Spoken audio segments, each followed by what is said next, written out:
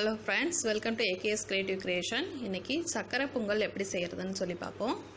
இதுக்கு தேவையான பொருட்கள் பார்த்திங்கன்னா பச்சரிசி ஒரு இரநூறு கிராம் எடுத்திருக்கேன். ஒரு ஆறுலேருந்து ஏழு ஏழு ஸ்பூன் அளவுக்கு பாசிப்பருப்பு எடுத்திருக்கேன்.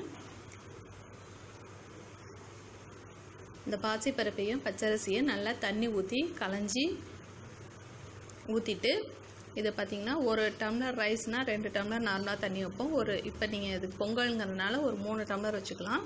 வச்சு ப்ரெஷர் குக் பண்ணிவிடுங்க இந்த இரநூறு கிராம் அரிசிக்கு வந்து நான் மூணு அச்சு வெல்லம் வந்து நுணுக்கி வச்சுருக்கேன். அதோட தேங்காய் துருவல் கொஞ்சமாக துருவி எடுத்து வச்சுருக்கேன். கொஞ்சமாக உப்பு ஏலக்காய் பொடி பண்ணது ஒரு மூணு ஸ்பூன் அளவுக்கு நெய் எடுத்துட்ருக்கேன் ஏ முந்திரி வந்து கட் பண்ணி வச்சுருக்கேன். இப்போ நம்ம பொடிச்சு வச்சுருந்த அந்த வெள்ளத்தை வந்து ஒரு பாத்திரத்தில் போட்டு கொஞ்சமாக தண்ணி ஊற்றி அந்த வெல்லம் கரையிற அளவுக்கு அதை வந்து கொஞ்சம் பாயில் பண்ணிங்கன்னா போதுங்க. இது எதுக்குனாக்கா அந்த வெள்ளத்தில் இருக்கக்கூடிய எதனா மண் தூசி அந்த மாதிரி இருந்ததுன்னா அதை வந்து நம்ம ஸ்ட்ரெயின் பண்ணி எடுத்துறதுக்காக தான் இதை சும்மா தண்ணியில் நம்ம கரைச்சிக்கிறது. ஹீட் பண்ணிங்கன்னா அப்படியே அந்த வெள்ளம்லாம் மெல்ட் ஆகிடும் அந்த அடியில் உள்ள மண்ணெல்லாம் அப்படியே நமக்கு இந்த ஃபில்டரில் தங்கிடும். இதை அப்படியே வடித்து எடுத்து வச்சுங்க.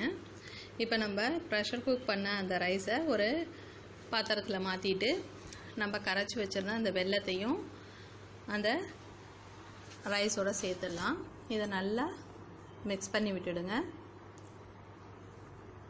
அந்த ரைஸும் அந்த வெல்லமும் நல்லா மிங்கிள் ஆகிற அளவுக்கு நல்லா மிக்ஸ் பண்ணிவிடுங்க வெள்ளத்தை நல்லா சாத்தோட மிக்ஸ் பண்ணி விட்டதும் நம்ம பொடிச்சு வச்சுருந்த ஏலக்காய் அதோட உப்பு கொஞ்சம் எடுத்து வச்சுருந்தோம் இல்லைங்க அதையும் அதை பொங்கலோட சேர்த்து நல்லா மிக்ஸ் பண்ணிடலாம்.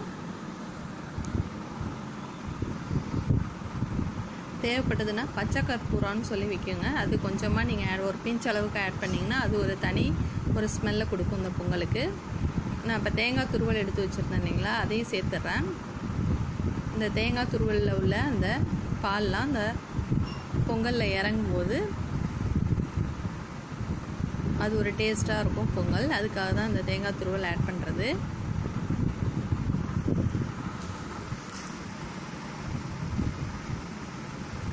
நம்ம எடுத்து வச்சுருந்த நெய்யில் முந்திரி பருப்பை லைட்டாக டோஸ்ட் பண்ணிவிட்டு ஃபைனலாக இந்த பொங்கலோடு சேர்ந்துடலாம். இப்போ நமக்கு சுவையான பொங்கல் தயாராகிடுச்சுங்க இந்த வீடியோ உங்களுக்கு கண்டிப்பாக பிடிச்சிருக்குன்னு நினைக்கிறேன். மறக்காமல் சப்ஸ்கிரைப் பண்ணுங்கள் தேங்க்யூ ஃப்ரெண்ட்ஸ்